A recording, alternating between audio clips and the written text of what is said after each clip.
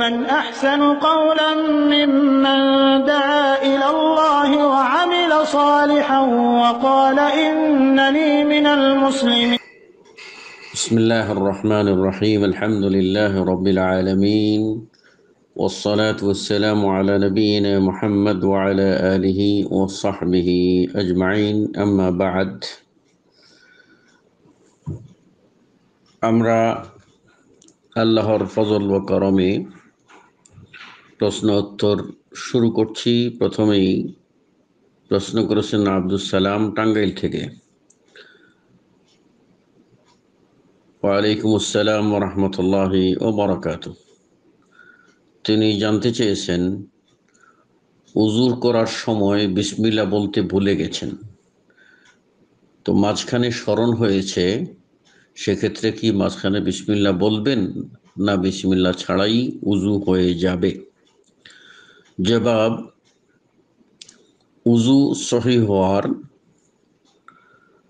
অন্যতম একটি বিষয় হলো বিসমিল্লা দ্বারা উজু শুরু করা। কেননা রসুল্লাহ সাল আলী ওসাল্লাম প্রত্যেকটি ভালো কাজেই বিসমিল্লা বলতেন। বিসমিল্লা দ্বারা শুরু করতেন।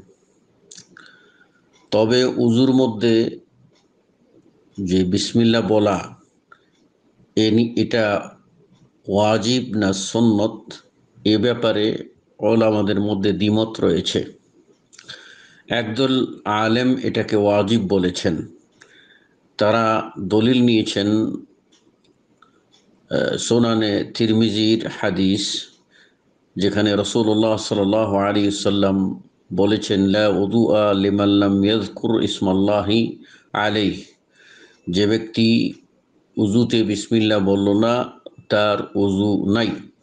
হাদিসটি আলবানি সহি বলেছেন। অপরপক্ষে আরেকদল আলেম, তারা বলছেন যে উজুর মধ্যে বিসমিল্লা বলা হলো সুন্নত। আর তারা বলতে চেয়েছেন যে উজুতে বিসমিল্লা বলার আবশ্যকতা সম্পর্কে যত হাদিস বর্ণিত হয়েছে, সেগুলি অকাট্যভাবে নয়। তার মধ্যে দুর্বল হাদিস, জয়ফ হাদিস রয়েছে।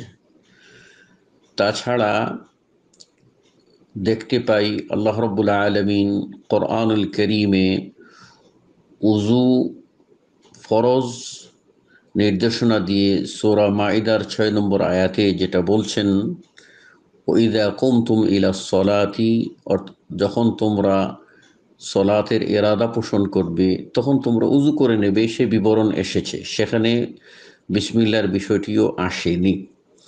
এমনকি উজু এর শিক্ষা সংক্রান্ত যত ঘটনা বর্ণিত হয়েছে যে অজু শিখালেন অজু শিক্ষা দিলেন এতে বিসমিল্লা শুরু করে শিক্ষা দিয়েছেন। এ মর্মেও বলিষ্ঠ প্রমাণ নাই।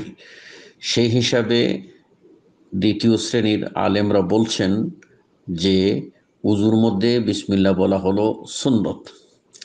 তাই আমরা বলতে পারি যে, উজুর মধ্যে কেউ যদি উজু বিসমিল্লা বলে শুরু করাটা ভুলে যায়, তাহলে তার জন্য আর কিছু করতে হবে না, তার উজু সহি হয়ে যাবে। ইনশা আল্লাহ। মাঝখানে আর বিসমিল্লা পড়ার কোনো দরকার নেই। যদিও এ ব্যাপারে দ্বিমত থাকলেও শেখ বিন বাজ রাহিমাহল্লাহ সহ মহাক্কিক ওলামারা বলেছেন, ইবনে ওসাইমিন সহ যে এতে কোনো অসুবিধা নেই, উজু হয়ে যাবে। পুনরায় আর বিসমিল্লা বলার প্রয়োজন নেই। আশা করি বুঝতে পেরেছেন। আল্লাহ আলামু বিসওয়াব